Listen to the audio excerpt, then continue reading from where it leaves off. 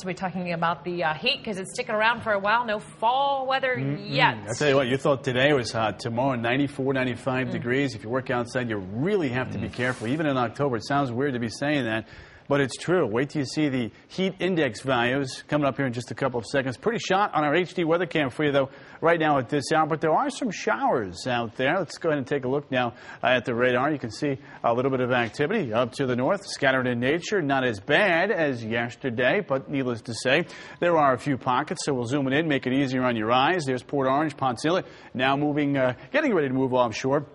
New Smyrna Beach and over towards the Edgewater area. Take the rain, as we mentioned. Any rain you can get this time of the year is a blessing. There's Zellwood, there's Sorrento, there's Seneca. A few more showers over towards Leesburg. All of this moving generally from west to east today. That's the overall flow. Bithlo, there was a quick little shower just a short time ago uh, through your area. Southwest side over towards the theme parks. We've had a couple of showers and some thunderstorms. They, thankfully, are now falling apart right along I-4 there. And as we head over towards the coast, you see Titusville, a few showers in and around your area, and a few new ones just to the south of Palm Bay. We'll watch that corridor uh, where the temperatures are still running in the upper 80s to near the 90 degree mark. Still low 90s up towards Ocala. Check out the heat index values.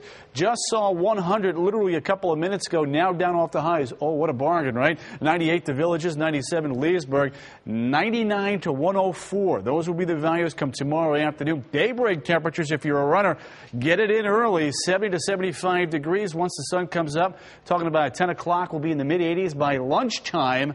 Right around the 90 degree mark, and again, a fast west flow. That is a dry and a hot flow for us, historically speaking, across central Florida. That's why we think we're going to have records and near record highs. 95 Sanford, 94 Orlando.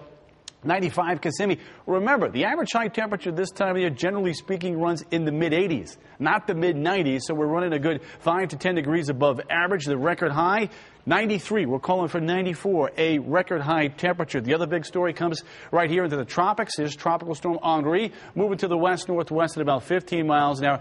Uh, there is an intense amount of upper level wind shear, so this is going to be a short lived storm. We've also got a trough of low pressure right here. Latest guidance takes it off towards the west and then shears it apart by the time we get into Thursday night and on into Friday. We'll watch it. If it should somehow escape this trough, it may have a chance to redo something, but right now we're not concerned. But we do want you to check back in over the next couple of days. The heat is on even through the upcoming weekend. Rain chances only at about 30%.